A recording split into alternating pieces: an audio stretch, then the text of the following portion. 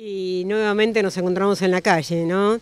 Ya tenemos, eh, tenemos una experiencia desde el 2017 eh, y bueno, otra vez nos trajo a los jubilados a la calle. Y esta vez queremos que San Rafael esté presente como todas las plazas del país. Hoy miércoles a las 11 de la mañana están en todas las plazas presentes. Así que bueno, acá estamos. Acá estamos defendiendo los derechos de los jubilados, nuestros derechos, los derechos de las personas adultas mayores a través de jubilados autoconvocados de San Rafael, a través de la Asamblea Permanente por los Derechos Humanos.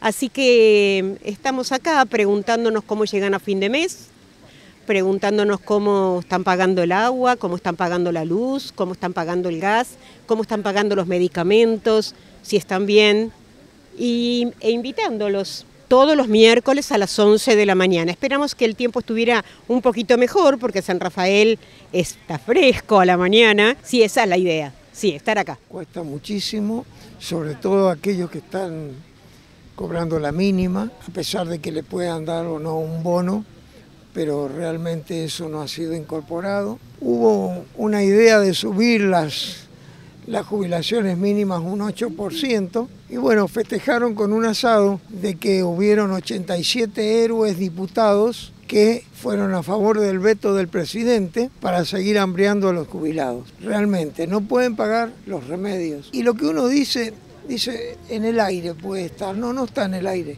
Eso se puede corroborar, porque los hechos matan a los relatos muchas veces, ¿no? Vayan a una farmacia y pregúntenle a un farmacéutico amigo cuánto están vendiendo menos de medicamentos. ¿Qué pasa con los jubilados que llegan a la farmacia a retirar sus medicamentos y se lo han sacado de su vademecum? Y que son medicamentos que ya han sido pagados. Porque nosotros durante toda nuestra vida laboral hemos pagado la ley 19032, Instituto Nacional de Servicio Social para Jubilados y Pensionados que se resume en PAMI, que es la prestación asistencial médica integral.